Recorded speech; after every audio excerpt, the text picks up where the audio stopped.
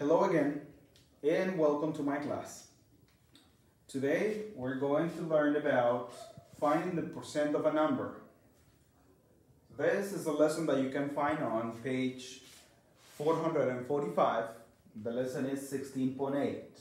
Please do not forget about writing the date in your notebook as always. The main idea of this lesson will be solved within this exercise.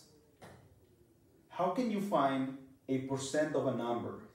Let's try to find 75% of 20. How much is that? If I ask you please, if you have 20 apples, give me the 75% of those, those apples. How can you find that number? Very easy. First, these are two different types of numbers. This is a percent and this is a whole number. So you need to, to change those two numbers into a same kind of numbers. In this case, the better idea is to, to change them into fractions. So let's change 75% into a fraction. As you know, it will be 75 over 100. And then you only need to simplify the fraction. Both are divisible by 5. So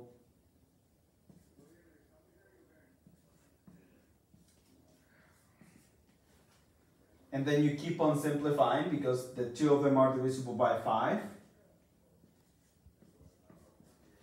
So now we know that 75% equals to 3 fourths. Now that you have 3 fourths, you need to multiply that number. The word of will count as multiplication. 20. Now, you remember how to write a whole number as a fraction. Always divided by 1. Now that you have a percent as a fraction and a whole number as a fraction, you can multiply to find the answer. How do you multiply fractions? Like this. 3 times 20 is 60. 4 times 1, it's 4. And then here, the two of them are divisible by 2. That's one option, so we can simplify. Or the other option is 60 divided by 4 will give you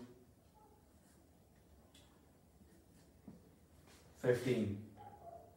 So now we can tell that 75% of 20 is 15.